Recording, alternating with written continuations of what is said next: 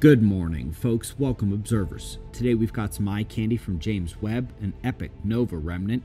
We'll see some lightning records and put those in context. We'll go over what we're watching on the sun as we begin with the last 24 hours on our star.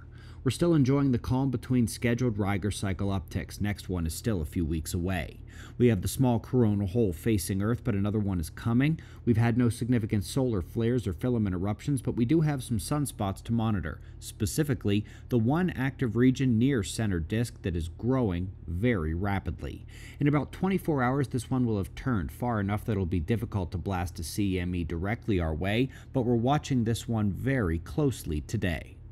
We are also on coronal hole watch. Forget that little one facing Earth, but over to the south on the left at the limb. That dark gap in coronal plasma is not only the next coronal hole, but it likely extends pretty well north. I would expect another big coronal hole coming into view this weekend. Eye candy up next.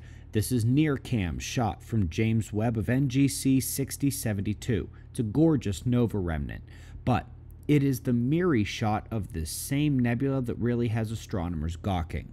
The clean cut lines and gaps and striations and concentric shells.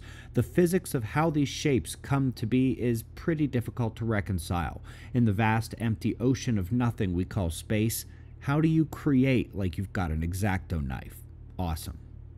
Folks, you probably heard about this the record long lightning bolt. I wonder how many of you remember a few years ago here on YouTube and in our books when we said to watch for continued confirmations of record breaking lightning.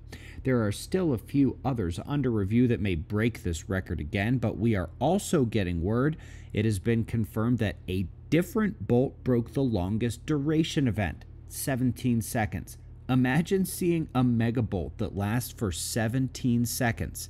That kind of thing would be terrifying.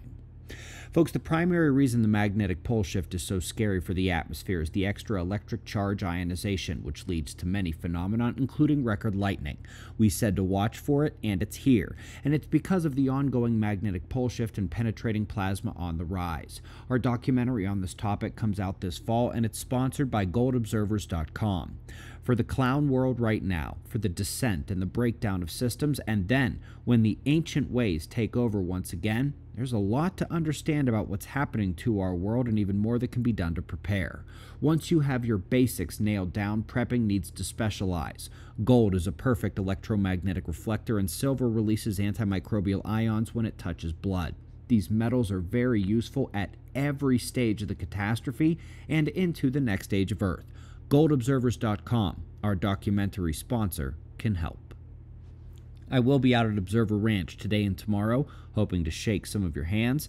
Next weekend is the Situational Awareness Prepping class. We're going to go over everything you need for the disaster, and doing so for every stage of the disaster. What you need and when, when to do this, when to do that. It got higher ratings than my Pole Shift conference last month, by the way.